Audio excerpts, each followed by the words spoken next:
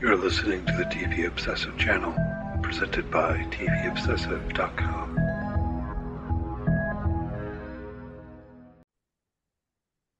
Hello, welcome to episode 26 of the TV Obsessive podcast. My name is Ryan Kirksey, writer and contributor for TVObsessive.com.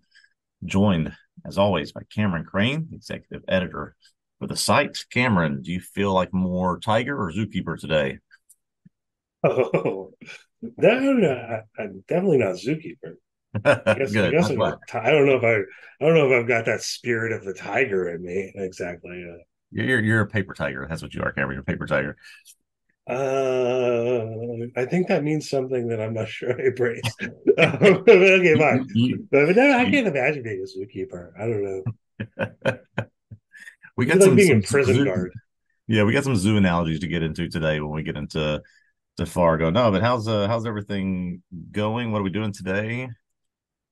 Yeah, it's going. I mean, everything's going pretty well. I think it's December twelfth somehow already. uh, time just keeps on flying by. We're going to talk about Fargo season five, episode five, and latter half of the pod. Um, as per usual, first talk about some things that have been in the news this week, what we've been watching, and and stuff like that. So uh, to be aware, spoilers for Fargo, but not for a while, and we'll give you another warning like right before we're going to get into that. So, um, yeah, I don't know what what caught your eye on the news this week, Ryan. Well, can we talk about Golden Globes for just a minute? We uh, yeah. got some nominations. Again, this is you know, Golden Globes have gone through a period of of some interesting uh, turmoil and controversy, but it's still sort of a barometer for where things are, where things might go with Emmys and other other awards, the Academy Awards, obviously for for movies. But I wanted to throw some of these things at you that were nominated, particularly because it relates to some of the some of the shows we've we've been talking about. Just sort of get some general general thoughts if you're good with that. Yeah, let's talk about it. Um, there's there are two main categories for television that have that there is the drama category and then there is the musical or comedy category that have uh, six nominees each. I want to list off these dramas, see which of these you have seen, and of those you have seen, if any, which one you would choose to win. So here are okay. the six that are nominated 19, okay. 20, 1923, I think the Yellowstone spinoff prequel, right? Okay. Uh, the Crown, The Diplomat, Last of Us, The Morning Show, and Succession. Which of those have you seen? And which just feel we... feel like I don't watch television apparently. yes, I, I, don't watch award-worthy television apparently. Um, you know, we want we talked about The Last of Us a little bit on here. I watched some of it for that, and mm-hmm. I embarrassed to say I didn't haven't found time to continue. Yeah. Um, as has come up multiple times, Succession, I do not watch, did not like, do not enjoy. I uh I just have to embrace it. I am a hater. I tried to watch it two different times. Yeah. Two different times. Years apart.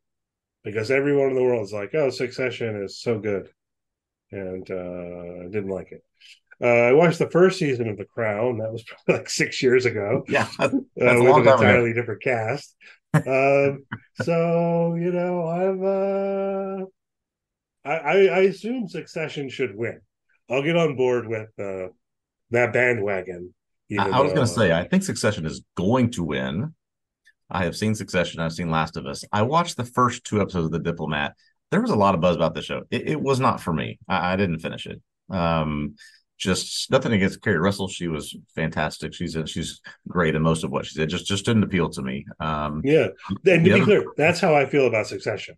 Right? Mm. I'm not I'm not looking at it and going like, well, this show is bad. Why does anyone yeah, yeah. like this? I'm just I'm just like, uh, I don't like how this is shot and there's kind of like hand cam thing and I don't dig that and I don't care about business and it's like it's not for me. Yeah. So I feel for me. Yeah, I, I, think Succession will win. Um yeah, and then you know, I need I guess I'm like you, I need to go and immerse myself in some of this stuff. I don't know. I just 1923 and the, the morning show just just the, those are obviously very very different programs. Just don't appeal to me right now. It does strike me as odd that the morning show is on here because I haven't seen it, but I feel like the impression I've gotten is that no one actually thinks it's good. I feel like I, I, feel like I keep seeing people like, why is it that I cannot stop watching this show that's not good? Yes. These are like TV critics. I'm talking. The about. the the prevailing sentiment around the morning show is it's like like the perfect hate watch schlock show, right? That's all it is. So how it's nominated, I have no idea. Give out the award. You don't give the award to that kind of show. I don't know what's on here. Yeah. I, to be perfectly honest with you, like so, we could go to the, the comedy section. Yeah. I've got I've got genre quibbles, but you, you, you can list off the cat. Um, okay, good. I I want to hear that. I bet we have the same one. So six six nominees in musical or comedy: Abbott Elementary, Barry, The Bear, Jury Duty, Only Murders in the Building, and Ted Lasso. What are your quibbles? I bet I can guess. I'm gonna write it. Yeah, down. so it's like I so I, I I think the Bear wins for best drama. yeah, I think so. I don't think the Bear's a comedy. I don't. I don't even see a justification for putting it under comedy other than the fact that the episodes tend to be like half an hour long. It's not a yeah, comedy at all. I, Do you think, I think that's the primary motivation here. And you could say the same thing about Barry that these are relatively short, traditional comedic 30 minute episodes. And I don't know, the first episode or first, first season of two of Barry certainly was more comedic. Um, there are some interesting, funny personalities on the bear. But yeah, to qualify these as as comedy must just be because of the the length or something. Well, see, I mean, it's weird. Barry, I do think is a comedy. I I, I think it it's like very much black humor. Mm-hmm. Ultimately, it was like pitch black, dark humor. But I, I but I I would argue, from my point of view, I think Barry is a comedy throughout. So I don't have the, the, the quibbles about that one necessarily. But the Bear, I don't I don't think the Bear's a comedy. I really don't. It, it just uh, I think it's a great show, but how many times did I laugh over the course of the Bear? I mean, maybe a couple. Like when John Mulaney's like, "Is he still holding the fork?" so like yeah, it has funny moments. But, right, right. Yeah. I, I, I laugh a lot when Fak is on is on screen, but that's that's usually about about it. I think. Yeah. So I so would of give, those of those six, what would you give it to? See, but this is this is how it's all tied up together because it's like I want to give the Bear best drama, and then I want to give Barry best comedy. That's what I want to do. Hmm. But I don't know. I, I don't know how to choose. Like should i give it to the bear because i probably think it's the best show even though i don't think it's a comedy? I yeah I see that that's if i had a vote that is what i would do because i think it is worthy of winning a category and if this is the category that they are going to put it in this is what i would vote for. I have more experience. I've seen five of these six. I've never seen an episode of only murders in the building. Uh my wife and others are pressuring me to watch that show but i've seen the others and yeah, put up against each other, I would I would pick the bear. Yeah, but so then this one annoys me looking at some of the other categories. Oh, okay. There's Bill Hader. Okay, so we can give Bill Hader the acting award. That's what we yep. can do. Yep. Okay. Uh, I don't know how many of these we're going to go through. Let let yeah let let's uh, uh, let's do one male and one female ca- category. How about that? Some of the the interesting ones. Um, let's do let's do in musical or comedy. Let's do male in musical or comedy. And then let's do. Hmm. Well, I've got another couple here. How is the curse under drama? That's not a drama. Yeah, we got okay. All right, let's do let's just do one more. Let's do best performance by male actor, musical or comedy. Bill Hader Barry, Steve. Martin or Martin Short for Only Murders in the Building, Jason Segel, Shrinking, Jason Sudeikis, Ted Lasso, Jeremy Allen White, the Bear, who was never actually funny. no, no. Great. yeah, definitely Bill Hader here. Particularly, particularly if I'm not giving Barry the award for the best comedy series. I think Barry was, and mm-hmm. this last season in particular, I think was exceptionally good. Yeah, I gotta give uh, the award to Bill Hader personally. What about what about you? Yeah, I would give having not seen Shrinking or Only, Only Murders in the Building, I think uh, particularly the last season of Barry, Bill Hader was just phenomenal. Um, I mean, I think Jeremy Allen White is incredible too, but uh, yeah, Bill Hader just I, I, think laps the field here in, in some ways for this this category. All right, we're agreed on that. All right, more to come. We'll see what happens. We'll, we'll circle back when the when they are announced. When uh, some of the other awards come out. But just want to gauge your sort of your standing here as we end the end of the year. End of the year. What else? What else is going on in the news these days? Oh well, uh, I noticed that. So that there's this like wonky rebrand at um over at Paramount Plus. Again, and, um, no, it's the same one. I just think it's even weirder now because the news story of the week is that they're going to start putting some Paramount Plus streaming shows on the linear cable network, Showtime, as it has been known. And like, okay, you know, what I don't know exactly what it's going to be. Know, just put Halo on there or whatever, you know, uh, whatever they want. But apparently, they're also going to rebrand the cable channel in line with the streaming service um, and call it Paramount Plus with Showtime. This this is the bit that doesn't make sense to me. so this, this confused me because so I I signed up for my free trial with Paramount Plus so I could watch The Curse and using it still. You go to Paramount Plus, you get a big tab that says Showtime. And so I thought I had Paramount Plus with Showtime, but apparently I don't have Paramount Plus with Showtime. I have Paramount Plus only. No, I think you have Paramount Plus with Showtime. It's, it's, it's not called Paramount Plus with Showtime. It's so this is like that's the thing. So they had and and uh, it never quite made sense. They were overreaching, I think, because they had two streaming services within the same broad company. Um, first, it was CBS All Access, and then they turned that into Paramount Plus, and they had Showtime as its own separate streaming service. They signed up for with just Showtime.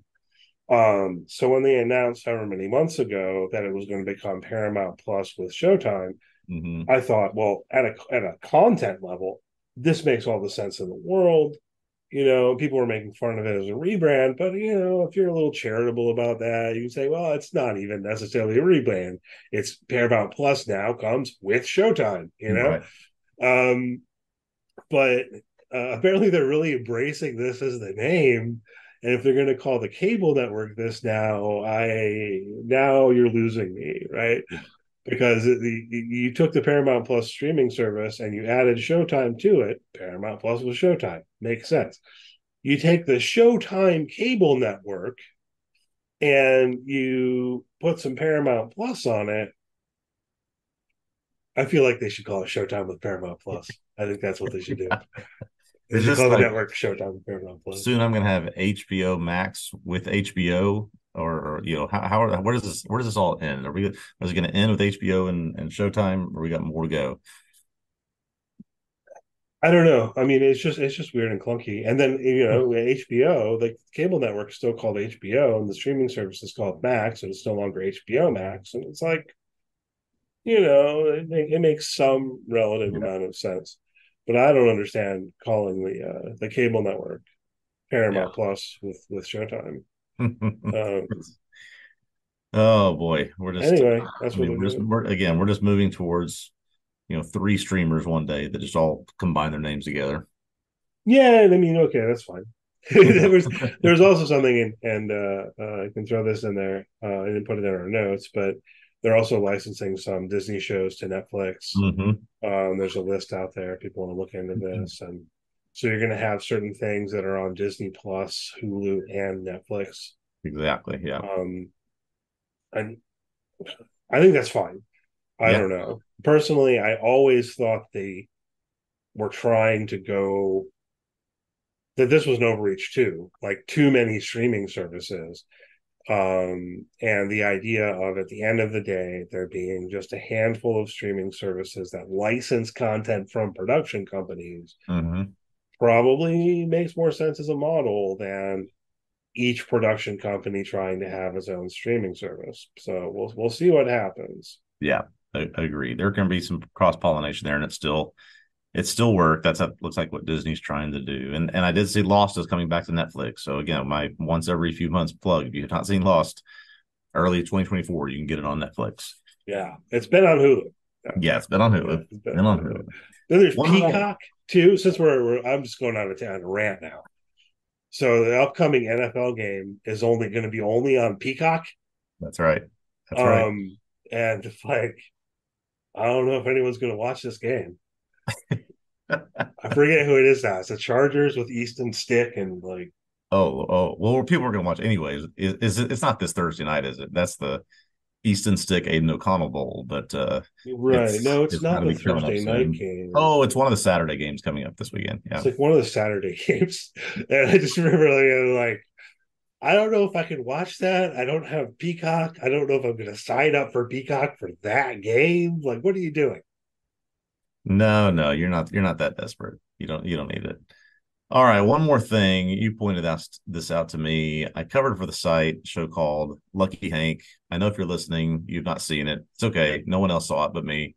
Yeah, um, I was I um, was reading some official data about this, Ryan, and according to the data, uh, two people watched this show. me and me again when I was reviewing me, it. Me, I watched it also. so you you and I watched it, and yeah, and uh, this no was just wanting, you know, wish casting Odenkirk to stay, Bob Odenkirk to stay on AMC forever, but it's been canceled after one season. Not surprising, but uh, I think it's I saw it ended an 11 year run where he will. So we'll go into a year now where he is not on AMC for the first time in 11 years. Yeah, who would have thunk it? I know. I mean, like I don't know about you, but I feel like I've I Bob Odenkirk was on Mr. Show. Yeah, and there's still part of me that's like, man, the guy on Mr. Show was just like a esteemed dramatic actor now. Yeah, um, yeah. Well. No, we need we need him in something new. Hopefully, uh hopefully it comes, but no more. Yeah. But I did think, for its worth, to the people out there, two things. One, I think Lucky Hank was pretty good, and it's still worth watching. You know, I yeah. mean, it's it's not super surprising that it got canceled because, yeah, it didn't really feel like anyone was watching it. I was yeah. being facetious, of course. I know more people were watching it than the two of us. um, and people read your articles, right? So like they were watching it. Yeah. Um, and I thought it was pretty good, but also like the way that the season ended really isn't terrible as an ending for the show. Yeah. Yeah. Um, I don't know if that fed into the cancellation decision at all. Or if that's frankly, I haven't read the book, how this was adopted from a book. That's how the book ended. Um, but yeah, it's just hopefully again we'll see him on something. Yeah. On something they definitely had space. The door was definitely open where they could have made more. Yeah. Um, but for that to be the end, not the worst thing in the world. It's not like you're ending on some massive cliffhanger. That's true. yeah. The we'll never know if uh I forget the name of the college he was at, if that the president of that college was fired because of their stance on the the Israeli Palestinian free speech issue. But uh that's getting into current events a little bit too much. So if we're not watching Lucky Hank, what are you watching? Yeah, man. So still on the curse, still on a murder at the end of the world. Uh, it's the penultimate episode of a murder at the end of the world today. Mm-hmm. Um, like it's already out. It came out, you know, at midnight Eastern. so, you know, maybe some people have already watched it. Um, writing on that, found my article on the site. And uh, yeah, one more. So I'm curious to see how that wraps up.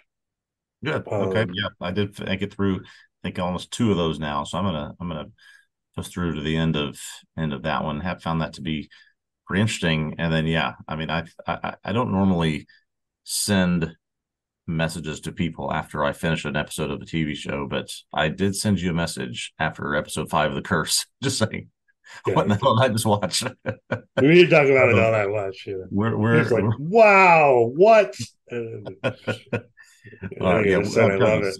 When it's done, let's let's spend some time on on on the curse when the show's over. Yeah, I mean, right now though, let's hit on it again because I don't know that I'm feeling quite like it's it hasn't caught the momentum of the rehearsal. Yeah. Um the rehearsal really felt like it caught momentum at a certain point and uh, I was on it from the beginning. Um, but more and more people were watching it. Mm-hmm. I the reason I'm mentioning that is I do think that there could be some value in getting on board with the curse before it's yeah. over, right? Like people yeah. haven't watched it all yet. I don't know where it's going. You know, we're about halfway through the season. It's a 10 episode season. Um, I don't know. Might, might be worth kind of getting on board to be up to up to speed as it hits the home stretch. Yeah, and, and to avoid all spoilers, I'm pretty sure it was in your piece you wrote on this episode that there are sort of a tantalizing number of loose threads that exist in this show that could really come back in a pretty dynamic way at the end if they if they want to do that. Yeah, there's a number of things that they just kind of like left sit. Yep. And not returned to for a couple episodes. So yeah. It'll well, um, on my end, I'll have uh, a piece up on Friday, uh, episodes five and six of Monarch. Um, show continues to to move at a pretty pretty good pace. Um, s- sidebar, I went and saw over the weekend Godzilla minus one. This word of mouth, just sort of an amazing Japanese movie that's that's come out. Absolutely incredible. Go watch it. Even if you don't like Godzilla, go watch it because it, it is it, it is Godzilla inside of another movie. It's it's fascinating. So there's my recommendation. Really, yeah, yeah. I've seen some buzz um, about that, but then that, that's not related to the Monarch universe. Is that right? Not not at all. Separate? So what happens is this the Toho studio, the studio that created Godzilla, gave eight years for legendary Warner Brothers to create a series of films, and they said we won't do any during this time. That eight years lapsed. This is the first one they've done since then. So they're separate universes. Um, but this i mean they took their time in these eight years and they made an incredible incredible movie. Um so go again go go see it if you can quite quite good. But be prepared to to read the subtitles. I had to tell my son that for read the subtitles. Oh, um well uh, people so, should people should read subtitles. Yes. It's yes. it's it's just fascinating um, and then I picked up a show which I've been seeing and, and reading about a few places. It got a couple of Golden Globe nominations. Slow Horses. You know anything about Slow Horses? I do know a little bit about Slow Horses. It is. Uh, um, I'm about an episode and a half in. It is. It's. It's interesting. Gary Oldman got a Globe nomination for this, but I like it so far. I was um so I for the site I wrote on just the premiere it might have been a three episode premiere. It was at least a two episode premiere. Yeah, yeah. Um, so I wrote one article, just kind of like checking out. You know, we do this sometimes. Of um, and I think I was I was trying to do too much, and there was no way that I would have time to continue week to week. Mm-hmm. And I didn't end up even continue watching it week to week. Although like, I thought it was pretty good. I was enjoying it pretty well. So yeah, so I'm interested. One, so one, think... one article on the site I wrote that contains the most horse idioms I could possibly get into it. I had a good time writing it.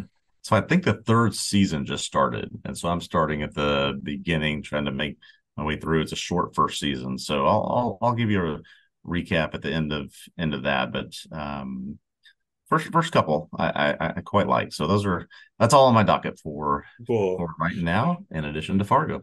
Yeah, perhaps I should revisit it because I have seen a number of people saying really good things about Slow Horses, and it's one of those yeah. where I feel kind of bad that I I watched the premiere basically and then didn't find time to continue on it. Yeah. Uh, but you know, Gary Oldman's in it, and um, you know, it's, it's like a spy comedy thing. Yeah, spy, but is it, the the 10 second summary is the spies who have screwed up and sort of been yeah. outcast to this place, and Gary Oldman is responsible for them, and and uh, how they're able to work within the confines of sort of the shackles being placed on them. It's it, it's interesting concept. Yeah, yeah. So yeah, recommend it to the world, and yeah. again, maybe I should go back and watch it again. um, the only other thing I've got got the final Doctor Who special. Although I, I mean, I say that, although I think there's also a Christmas special coming in a couple of weeks. Um, but this was the last David Tennant uh, Catherine Tate um, of the three. Um, I enjoyed it immensely. Neil Patrick Harris was in this one. Ah, okay. It was great. Neil Patrick Harris in this episode was just absolutely great. Um, playing the toy maker. That's not really a spoiler. I think that's just out there. Yeah. You know. Uh, and we've got, of course, now then the uh, appearance of the next Doctor, um, played by uh, Ncuti Gatwa. Um, and uh, he seems good too. I, I, enjoyed him immensely. He didn't have any pants on. Um, that's that's an out of context comment. That's interesting. Okay. I think uh, I think is that a spoiler? I, uh, how fine grained do you want to get in your spoiler worries? Yeah. Um, he appears for about twenty minutes and he, he no pants. Um, I don't know why he doesn't have pants. You know, um, but he's pretty good. And you know, overall, I think part of the point of these Doctor Who specials and Russell T Davies coming back and bringing yeah. back David Tennant and Catherine Tate for this run was to kind of reinvigorate the fandom in a way that you know certainly died off for me uh, with the run with Chris Chibnall as the showrunner.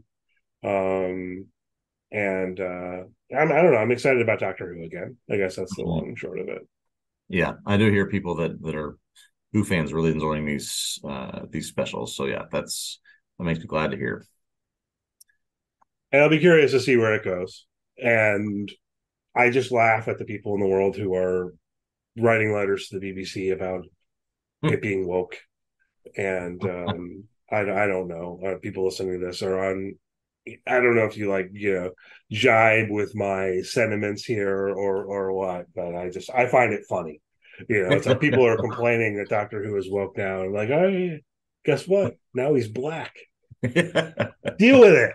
Deal with it. Oh boy. Well, on that note, shall we travel to Minnesota? Yeah, and get back to Fargo. So, um, Fargo season five, episode five. This one's titled "The Tiger." probably not a ton to dig into with that, this title. But anyhow, uh, we will get into spoiler territory here for everything that happens in this episode and certainly anything preceding um, in Fargo up to this episode. And um, yeah, so we'll, as per usual, take about 10 seconds here, plug in some music, and we'll pick up on the other side with Fargo Season 5, Episode 5.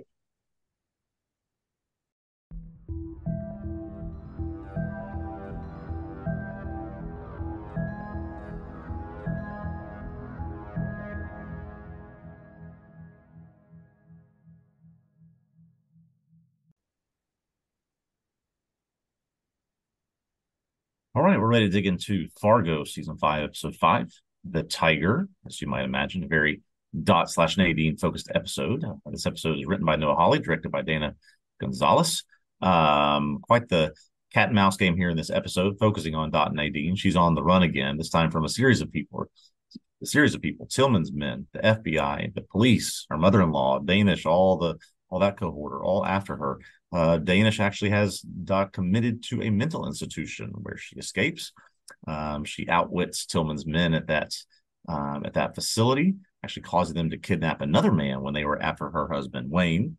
Uh, meanwhile, as she's on the run, she was able to find Scotty at Lorraine's house, takes her to Officer Indira's home, um, where the two agree to let Scotty stay there and form a friendship that may go on to help both of them throughout the rest of this season. Um, meanwhile, in the one scene without Dot and Nadine uh, in this in this episode, we have our first confrontation between Lorraine and Roy, where they go head to head, trying to decide who has property rights over Dot. Is it Wayne or is it Roy as the original husband? Um, lot to look into this this episode again. Very heavy on Dot and Nadine. Where do you where do you want to start? Yeah, well, just to throw in there's you know, the, there's also the scene with Lorraine where she's at the lunch or whatever with the guys with the bank, where she kind of yes puts them in their place. So you had a little bit of a through line with Lorraine, kind of exerting her power, um, mm-hmm. which I enjoyed. Very so, much so. you know, there, that there's a wrinkle there. You know, it's like interrogate my own emotional responses where you have yeah. this woman, Lorraine, played wonderfully by Jennifer Jason Leigh, of course, but in Absolutely. terms of the character, uh, I would view her as very much an enemy in the world, uh, personally, and yet uh, put her in the right circumstances where she's um, putting these men in them in their places, and I yeah. find myself kind of like, yeah, get them. There's also the scene she has with Officer Indira, which we we can't forget as well, where she talks about you know being a zookeeper and how the debt is her cage and yeah. and, and, all of that. So she's she, she's very much about putting people beneath her so they can understand her position. Yeah, but see that one I don't like. That you one? I think she's being mean and like and, yeah. and that one like stop being mean to, to, to Indira, you know. So there's like certainly a gendered aspect to yeah. to it's not her fault. It's fault yeah, well, like the when, when she's when it's like some cocky man like Roy Tillman coming in there, and she's hmm. kind of slaps him down, you know, kind of like, yeah, that's you know. Uh, I'm on your side in this moment. Yeah, but yeah, when, yeah, she's, exactly. when she's talking down to Indira, I'm like, oh my god, here. Yeah, get evil, the husband in here. Evil debt collector. Right. Exactly. Exactly. Uh, I mean, it is a dearest husband's fault. it is. I want to talk about her husband, her, her husband uh, here uh, along the way. Um, yeah, we just got to kind of decide how to work through this. As you say, a lot of it is Dot. Yeah, I mean, she's institutionalized. She attacks the orderlies, and all of this is kind of entertaining. They don't they don't show us really let, let me ask you. Let me ask you a question about Dot, since we can start there. Since this episode called "The Tiger," we have this sort of at the very beginning where she roughs up one of the orderlies at the mental hospital. Um, she smothers one of the guys at, at uh, she's trying to swap rooms with. Was she enough of a tiger in this episode for you? I, I, I don't know. Maybe I kind of expected a little bit more. I don't know. I don't know if it's more violence or more or more cunning or what, but she, was she was she a real tiger for you in this episode? Yeah, no, I think I see what you mean. Maybe the voiceover narration mm. um raises expectations too high yes, or something. That's true. Um her actions back in I want to say episode one, whenever she was kidnapped, right? Yes. yes. There was almost she was almost fiercer in my exactly. Mind than she has been since, even in the home invasion last episode. You know, yep. Um, but you know, for the most part, yeah. Uh, she tries to keep them from taking her in the first place. She fails, mm-hmm. um, but then she is able to um, turn the tables on the guy who's trying to strap her down, and uh, apparently also does some violence against that nurse whose uniform she stole. We we don't see that, right? There's good point. Little things we don't see. Um, and then whatever the guy's name is, who's a bit of a jerk, uh, who she smothers. I don't think she kills him. I was wondering, like yeah. during that scene, I was like, "Is she killing this guy?" Yeah, I was worried, but I don't think she did. I don't. I don't think she did. Um, she switched the nameplate. That's a big thing that you know occurs here that could be of relevance moving forward because it would seem like roy's men fall for it and we don't quite see this but i presume they kidnapped the wrong guy yeah i think they we we see them wheel out someone and it's the guy that she smothered because that's whose name she swapped with with wayne and, and again it was interesting to me because i'm glad you brought this up because the nurse working at the front desk had just pointed to them where where Wayne where his room was.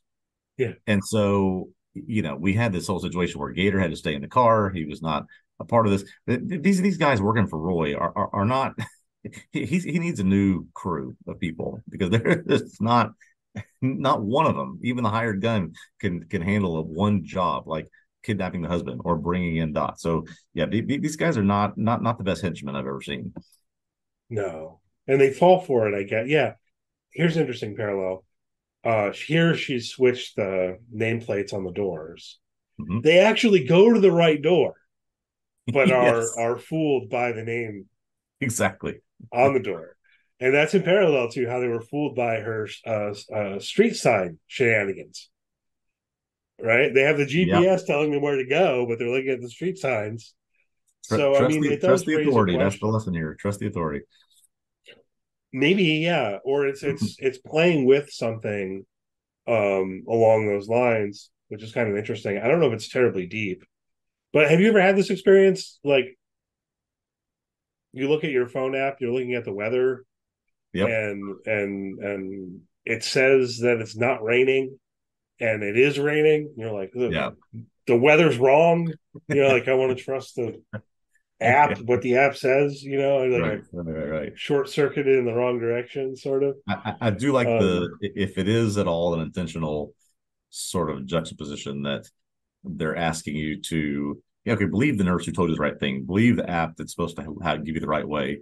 But this whole show, as we've talked about in nauseum, is about just the corruption of authority and how the people in charge are are truly truly awful. Yeah. And so I mean I guess then it's this it's the space of that question at least. I don't yeah. know if it's taking a strong position necessarily. But here it would be, yeah, do you trust the person who told you what room to go to or do you trust the sign yeah. on the on the door of the room. I don't know if it's an easy question, actually, right? yeah. Maybe the person was wrong and so on. Um, but yeah, it seems they they kidnapped the wrong guy. Should have just given Munch his money. You know, no. you're talking about henchman not being good. Munch was good. Munch was Munch was good. I, I, I put this in the notes. Very sad to see no. Um, I heard someone pronounce it this past week as Monk, Ole Monk. Like that's the that's the official German way to say it. So no Monk in this episode. I don't know. Do they say it in the show? I he's think it was in a sense of when he was talking about himself when he was sitting in the bathtub. He talked about himself as monk. Maybe monk. Well, I know. I'm not gonna. I think he's Welsh too. I don't think he's German. I think he's Welsh. yes.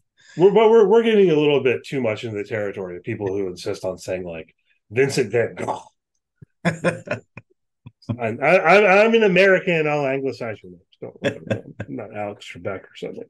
Yeah, no, they uh, it, it, would have been a much better place probably. If they just put uh put Munch on on on the job here, but they, I mean, they they take the well what they think is the husband in a way to try and blackmail, uh, capture, get back at uh get back at Dot Nadine, but she obviously here's a here's a little question in there. Um because there's a wrinkle to where because Gator's not been good because he keeps failing, mm-hmm. uh, he's told to wait in the car.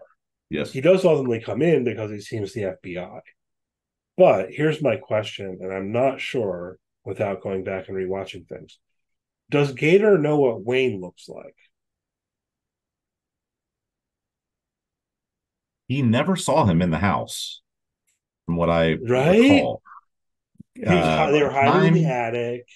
Yeah, by the time he made it up there, Nadine already pushed him off the roof. So I don't think he knows what he looks like. He must not, because he because they do wheel out the wrong guy.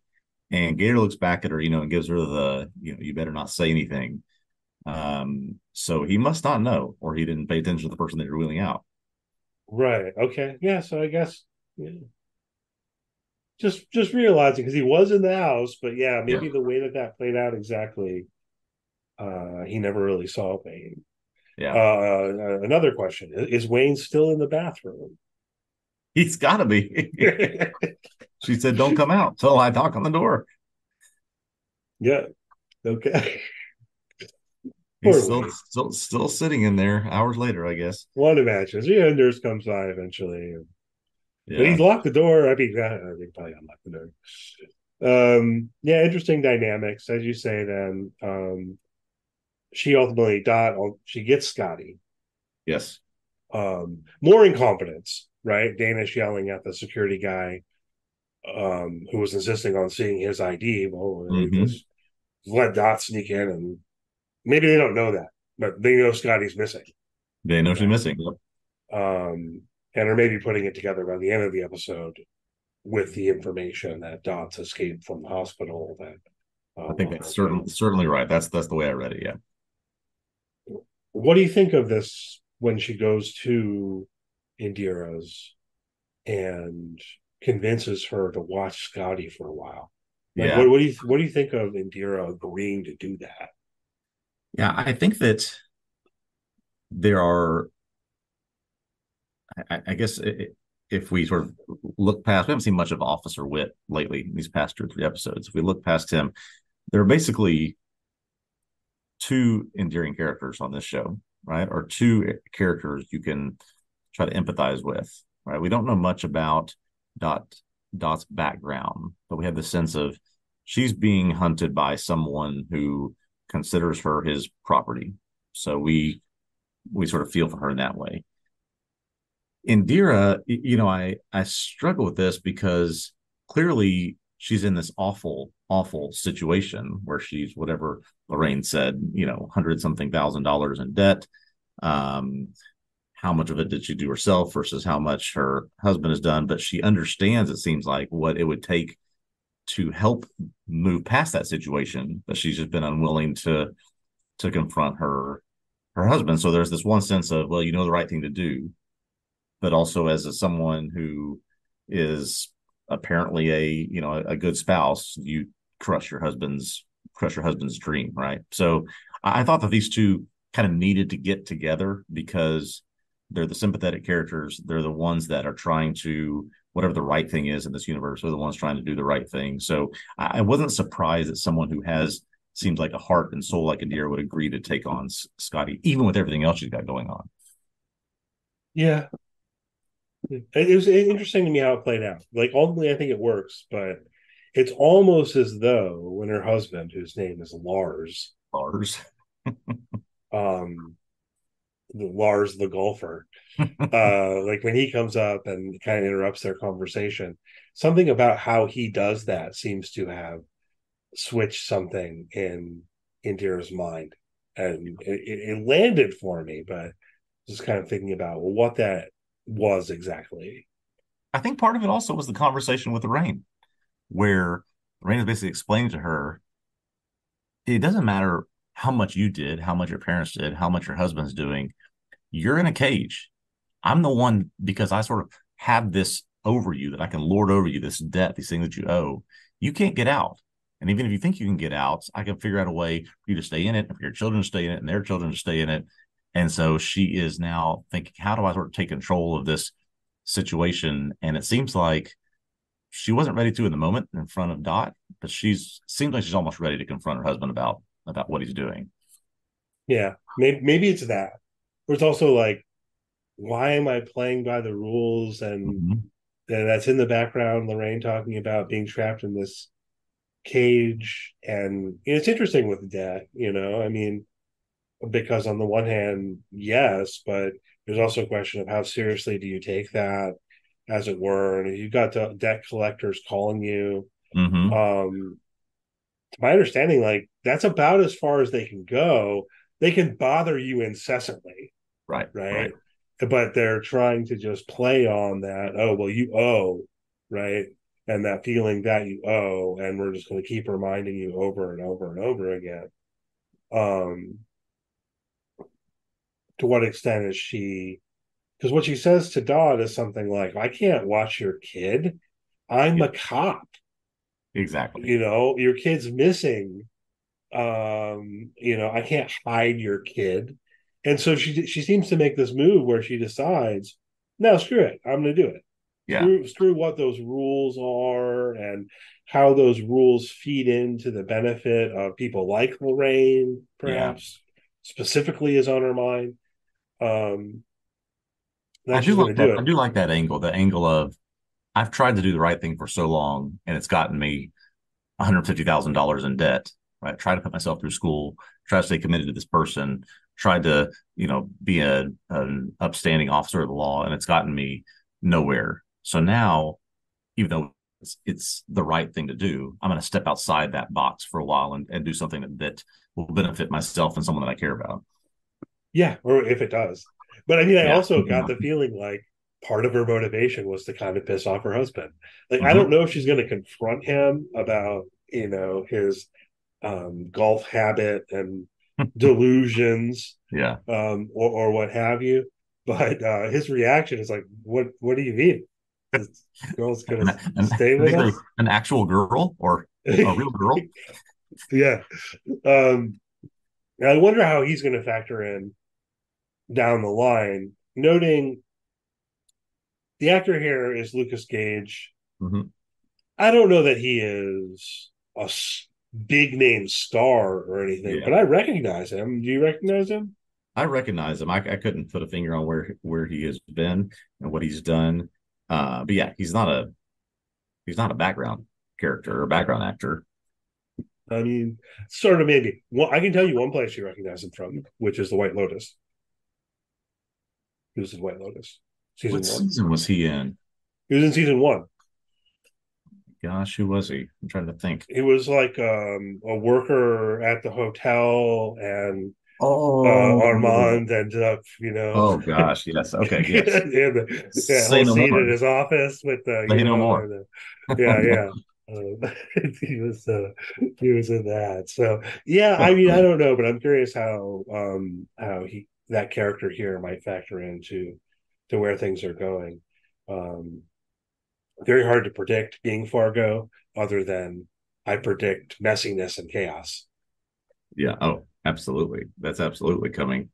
Um, and I think it's going to come to, you know, as standard with Fargo, to most, not just some, most of our characters. Um, and certainly Dot is not done with her her chaos, nor is Roy, nor nor is Wayne. And I think Indira is stepping into that to those chaotic waters as well. Yeah. Um, a couple of other things. Some of this factors into things you mentioned before, so I don't know how much you want to talk about it. Um, this bit where so Roy comes to see Lorraine. Yeah, this was a good scene. And you know, he's saying Dot, her name's Nadine, as my wife. She's my property, which is interesting to me. I didn't know. Like I used that phrasing in talking about this weeks ago. This might be the first time he actually did. It was just clear to me that's how he views it. You know. Um, but Lorraine says she's been. It's been more than seven years, so she's officially declared dead after seven years. Um, I'm not claiming any expertise on this, but I did try to look into this a bit. It's one of those things mm-hmm. that's out there in the world as almost a cliche trope sort of thing. I and see. there's something to it, but I do believe someone has to do that. It doesn't just happen, except for like the Social Security Administration. Someone has to do the act of disappearing, or has to do the do what? The declaration of death. Oh, I see. Okay. So, like, at least in terms of what I read, the Social Security Administration, if they've if you've been missing for seven years, and they're like, well, we're just going to take you off the books here, you know, like we're we're we're going to decide that you're dead for the purposes of, you know, the accruing of Social Security or, or yeah. what have you. Um, beyond that, from what I read, I think this is probably right. You know, again, I'm not an expert or a lawyer by any means. Yeah. One would have to um, go through some process to get that declaration right? So like say um i don't know uh say your father's been missing for seven years mm-hmm. and you want to inherit his property. I see you go and get him declared dead so that you can inherit the property right? That sort of thing. In, in other words I, I think that there is a little wrinkle here that it's not officially like um, Nadine would be declared dead after seven years if no one took the time to do that. To to do it. So I, I feel a theory coming on. This is this is there was something churning here. Um, does Dot help Indira understand how to disappear for seven years? You know, somehow the debt gets, you know, she's like, all right, we're going to consolidate it under both of our names, me and me and Lars here, and then she teaches her how to disappear, and so she can escape her debt after after that period of time. We got theory working here. Uh, maybe, but I think you just declare bankruptcy. Yeah, um, I think that's a seven-year period. I uh, anyway, I just I wanted to mention this. I don't know how much it's going to matter, but I think it's kind of interesting to think about to tie into how. Mm-hmm. Well, okay, let's say even if this were the case, Roy Tillman doesn't care. Yeah. But the fact that he doesn't care about how those official rules and federal laws and stuff work maybe also means that he doesn't quite know that what Lorraine says isn't really true. Yeah. You know, um, and I don't think it is because yeah. she's trying to claim that his marriage is nullified because she's been missing for seven years. I don't right. think that's true. I don't think so and, in, unless someone had, like him, gone to get her officially declared dead. Yeah. So that he could remarry. And why would he have done that if he's hunting for her? Yeah. I don't know. Yeah. There, there is that hiccup. I mean, not hiccup, wrinkle, whatever conceptual metaphor I want. That he is yeah. married again. So how, what exactly went down? Again, I floated the theory yeah. before she faked was... her own death. This would seem to indicate that she did not take her own death. That she did so not. That, that that that is certainly the sense I have as well. And then you know, I guess from this conversation, just on maybe the most fundamental level, is that people in these positions consider someone like this or those that they that, that are beneath them as I mean, this is them talking about her as literal property. That, you know, the, these people are something that can be bargained for, can be used as trade ships, can be pawn pieces, can be whatever they want them to be, because we're again, you know, back this theme every week. We're in these positions of power, and so we're now talking about a literal person as a literal piece of property. Um, it just sort of slaps you in the face in that in that scene quite a bit. Yeah, and it's interesting because I, I do think that Lorraine is basically saying she does not want to view it that way, but if you insist on viewing it that way, mm-hmm. Um, I will smack you down and win legally. yeah, exactly. Uh, and, then from the other side, uh, Roy's position is basically, I don't care about it legally, morally. Right. She's right. my property in like the eyes of God. Or something. What the old what the Old Testament tells me is that she is mine. Yeah. Um. So it's an, it, it, yeah, it, it's an interesting kind of con- contrast. Yeah. I don't know what he's going to go off and do now. I'm not entirely sure what Dot's going off to do now, and we don't know, you know what Munch is doing. That's one of the fascinating things about this season is I can't really guess I mean, I sort of, we sort of knew that the home invasion piece was coming, but I can't really guess from episode to episode what's what's coming next or where they're going to go and what's going to what's going to happen. But that's been a good thing so far. Right. So like at the end is is Dot off to um try to kill Roy? That was what Felicia speculated in the recap she wrote uh for the site this week. This won't um, stop until I stop him. Yeah, and I guess that makes sense. Yeah. So so maybe that's what's going on. Um, what did you think of the narration? And did you notice who was doing the narration? I did not notice this until you put it in our our notes. Who who is who's the narrator here? If you can share. So uh, Jason Schwartzman. Interesting. Okay. I find this interesting. I, I found it interesting because it was.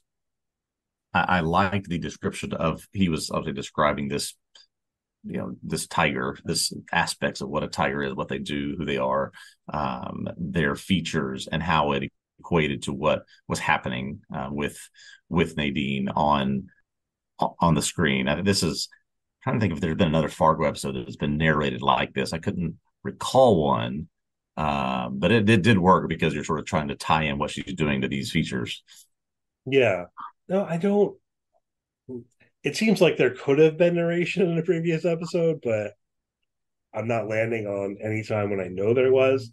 Yeah. Um, I did double check it about Jason's Jason Schwartzman as narrator. This is the first time that he has been the narrator. Um, of course, he played a character in a mm-hmm. previous mm-hmm. season of Fargo.